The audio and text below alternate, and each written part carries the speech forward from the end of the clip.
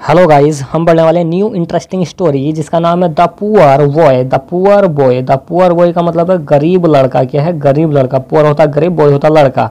तो गरीब लड़के की कहानी है काफ़ी इंटरेस्टिंग कहानी चलिए इसकी इंग्लिश से हिंदी कैसे हम ट्रांसलेट करते हैं, ध्यान से देखें। देखिए once a boy once a boy was carrying some wood देखिए वंस एक बार अ बॉय एक लड़का was carrying some wood carrying का मतलब होता है ढोना, ये लेकर जाना। तो ये लड़का है, ये क्या है लड़की क्या है, ये लकड़ी को लेकर जा रहा है। देखिए वंस एक बार वो एक लड़का वाज केयरिंग सम वुड क्या है, कुछ लकड़ी लेकर जा रहा था, ढो रहा था, लेकर जा रहा था। सम होता, कुछ बूढ़ होती, लकड़ी, कुछ लकड़ी लेकर जा रहा था। वाइल जब वाइल जब पासिंग अ फॉरेस्ट पासिंग का मतलब होता है गुजरना। जब, देखिए, जब वह क्या गुजर रहा था कहाँ से? अ फॉरेस्ट एक जंगल से। जब वह जंगल से गुजर रहा था ही सा उसने देखा। ही आसा उसने देखा हंगरी क्या देखा? एक भूखा ओल्ड मैन ओल्ड मैन होता है बूढ़ा व्यक्ति। तो उसने देखा एक बूढ़े व्यक्ति को सडेंड सडेंड मतलब दुखी। सडेंड का मतलब होता है दुखी। डेट की ही कुड ही कुडंट इसको पढ़ेंगे कुड नॉट कुड नोट होता कुडंट तो शॉर्ट फॉर्म है इसकी कुड नोट की कुड नोट की शॉर्ट फॉर्म क्या? Couldn't he couldn't help the old man वह उस बूढ़े व्यक्ति की हेल्प नहीं कर सका। नहीं कर सका का होता कुडंट क्या होता? कुडंट तो दुखी सडंट होता दुखी। तो वह दुखी व्यक्ति की, दुखी बूढ़े व्यक्ति की हेल्प नहीं कर सका। कौन? जो लकड़ी लेकर जा रहा था। अगर देखें द बॉय द बॉय वो लड़का रिज्यूम्ड हिज जर्नी उसने क्या? अपनी जर्नी अपनी यात्रा को। जर्नी होती है, यात्रा रिज्यूम्ड मतलब जारी रखा। उसने अपनी यात्रा को जारी रखा।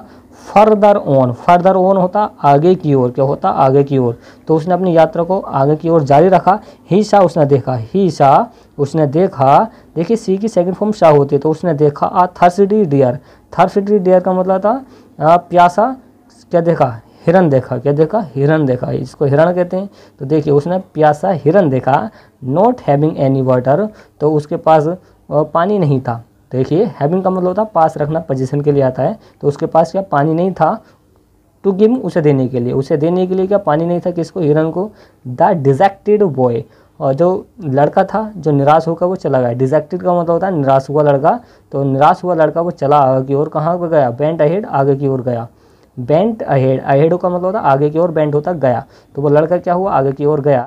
लेटर क्या है? Later later he came across a man देखिए लेटर होता बाद में ही कैम वो आया। अक्रॉस अ मैन एक व्यक्ति के पास आया हु जो वांटेड चाहता था। क्या करता था? वांटेड चाहता था टू मेक अ फायर आग लगाना। किसी चीज़ में आग लगाना चाहता था, वो ठंड से कब कपरा होगा तो वो आग लगाना चाहता था। बट परंतु he did not have any wood परंतु उसके पास क्या कुछ भी मतलब कोई भी लकड़ी नहीं थी। है वो था पास तो यहाँ पर पास आता है पजेशन के लिए यूज़ होता है तो उसके पास लकड़ी नहीं थी, जिसमें वो आग लगाए। The boy immediately the boy immediately वो जो लड़का था, तुरंत गैब हिम सम ऑफ़ बूड देखिए, उसने लड़के ने तुरंत, देखिए, उस लड़के ने क्या इमिडिएटली तुरंत गैब हिम उसको दे दी some of blood some of his blood अपनी क्या कुछ लकड़ी दे दी इन रिटर्न और वापस आया इन रिटर्न क्या होता? वापस आना।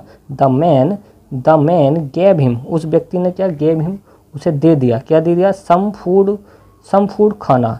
जिसको उसने लकड़ी दी थी तो उसने क्या दे दिया? रिटर्न में क्या दे दिया? सम फ़ूड मतलब क्या कुछ खाना दे दिया एंड और वाटर क्या पानी दिया। और क्या है? पानी दिया। The happy boy the happy boy मतलब लड़का क्या? खुश होकर इमिडिएटली तुरंत रन बैक पीछे को आया मतलब वापस आ गया, पीछे को आ गया, क्योंकि उसे क्या खाना और क्या पानी मिल गया था। ही गैप द वाटर उसने गैप दे दिया द वाटर पानी। उसने पानी को दे दिया टू द डियर किसको? हिरन को। उसने पानी को किसको दे दिया? हिरन को दे दिया। एंड और food to the old man और क्या बूढ़े व्यक्ति को क्या दे दिया? फ़ूड दे दिया, खाना दे the old man, the old man क्या है? The old man and the deer were highly grateful. The old man, बूढ़ा व्यक्ति और क्या वो हिरन वर थे हाईली ग्रेटफुल, आभारी। तो वो क्या हो गया? उसके आभारी हो गए क्योंकि उसको बूढ़े व्यक्ति को उसने खाना दे दिया और हिरन को क्या दे दिया? पानी दे दिया। नाव अब नाव अब, वन डे, एक दिन एक दिन तब वो वो लड़का फेल डाउन, वो गिर गया। कहाँ से? वो गिर गया, कहाँ से? हिल, एक पहाड़ी से, हिल होती है पहाड़ी। एक दिन वो लड़का क्या? पहाड़ी से गिर गया, फेल डाउन होता है, गिर जाना, आ, हिल। हिल होती है पहाड़ी पहाड़ी से गिर गया। It was none other none it was none other than the old man तो यह कोई नहीं था कि कौन था? बल्कि एक क्या था? वो एक बूढ़ा व्यक्ति था। हु जो, उस बूढ़े व्यक्ति ने हु और रेस्क्यूड होता बचाना उस बूढ़े व्यक्ति ने क्या उसको बचा लिया? हिम उसे एंड द डियर उस डियर ने हु ब्रॉड को लेकर आया। जो डियर था, जो हिरन था, वो क्या ब्रॉड लेकर आया? देखिए, ब्रिंग की सेकंड फॉर्म ब्रॉड है तो वो लेकर आया क्या? क्या लेकर आया? सम रेयर हर्ब्स कुछ जड़ी बूटी लेकर आया जो कहीं नहीं मिलती हो वो क्या जड़ी बूटी ले रेयर का होता है जो कहीं नहीं मिलती हो। तो यहाँ पे क्या है? तो देखिए क्या हुआ कि हु जो मतलब उस बूढ़े व्यक्ति ने द ओल्ड मैन हु जो उसने रेस्क्यूड उसको बचाया हिम उसे एंड और द डियर हु वो जो डियर था हु वो ब्रॉड पर लेकर आया सम रेयर वर्स कुछ जड़ी बूटे लेकर आया टू क्योर हिम उसकी क्या? आ, इलाज करने के लिए क्योर का होता है इलाज करना हिम उसके इलाज करने के लिए द वॉय, क्या है? The boy realised, the boy realised उस लड़के ने महसूस किया डेट की वन गुड डिजर्व्स एनोदर्स अपने आप को क्या गुड मतलब अच्छा महसूस किया, डिजर्व्स एनोदर दूसरों की अपेक्षा, दूसरे की अपेक्षा क्या उसको अच्छा महसूस हुआ, इसका मतलब क्या है? कि द वॉय रियलाइज़ उस लड़के को महसूस हुआ डेट की वन गुड डिजर्व्स एनोदर दूसरों की अपेक्षा उसको अच्छा महसूस हुआ, क्योंकि क्या उसका इलाज हो चुका था क्योर हो चुका था।